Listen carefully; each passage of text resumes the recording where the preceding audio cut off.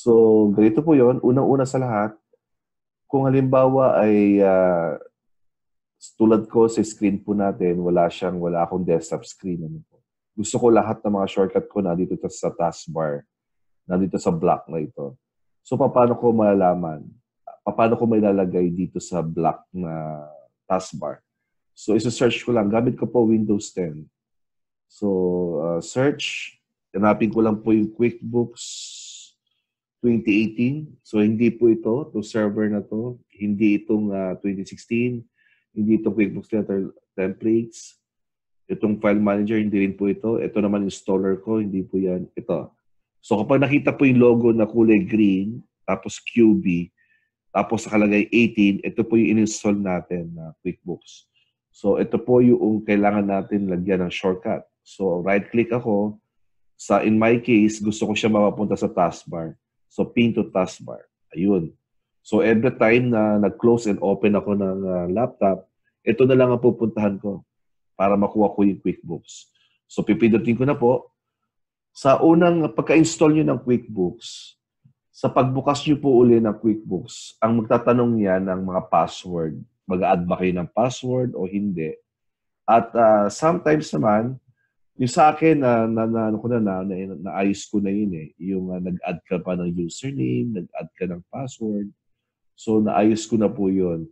Uh, ngayon, ngayon ko lang uli binuksan tong QuickBooks, napapansin nyo, meron siyang update. Ano po.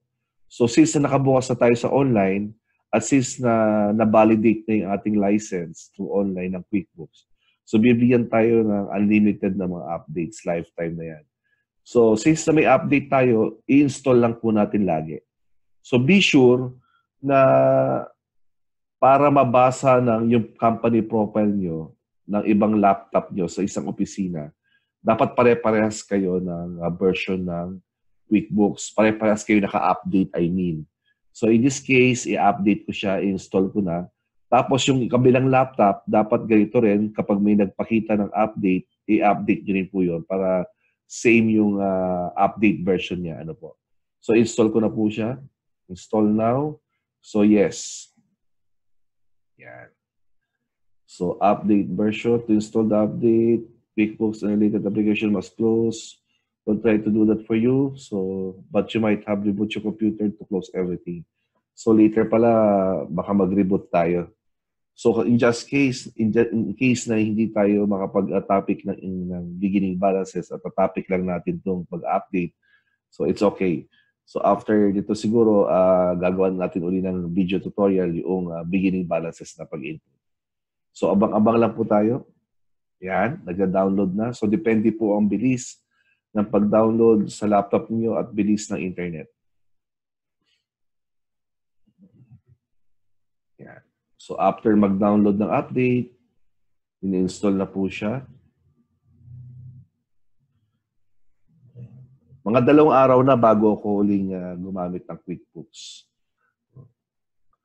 So, ngayon ko lang uli nabuksan, nagbakasyon lang ng konti, pahinga-pahinga. Tapos, pagbukas ko, yan, may pumasok na uli na update.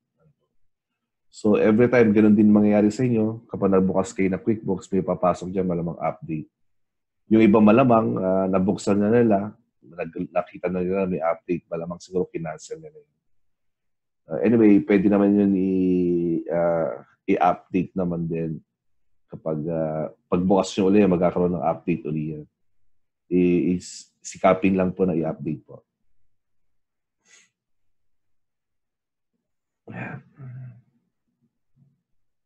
Okay. Antay-antay lang po.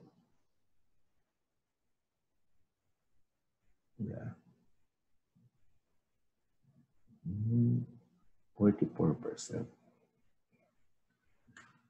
Yung kanina sinasabi ko, yung pangalawang pagbukas ng QuickBooks, yung lalabas yung mga user. Uh, mag-add ka ba? Tinatanong doon, una pala, yung uh, magbabago ka ba ng password. Yung password yon dapat binubuo ng at least seven digits na combination ng alpha, alpha alphabetical sa ng numerical uh, characters. So, alphanumeric po dapat Na isa da, tapos sa pito na yon dapat at least merong capital letter. Yun. So, yun po ang gagawin. Babaguhin niyo po yung password na yun. Then, i-confirm niyo lang that okay na.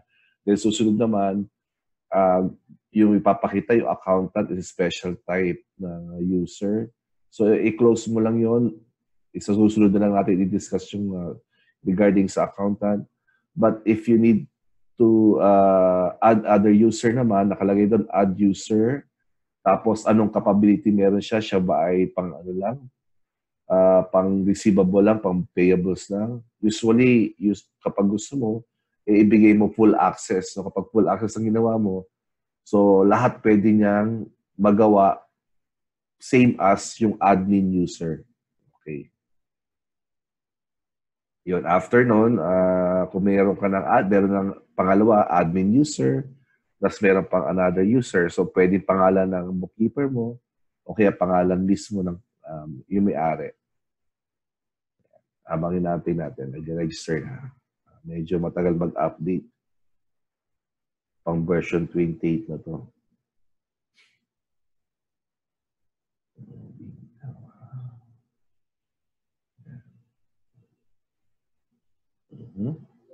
Yun. QuickBooks update has to restart your computer to complete the update.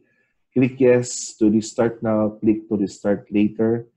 So, ang gusto ko kasi is uh, ma-restart na ito para dire-diretso na tayo doon sa QuickBooks natin na pag-add ng beginning balance.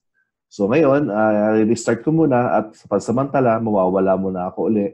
Tapos babalik na lang uli ako pagka-restart ng laptop. Okay, I'll stop for now.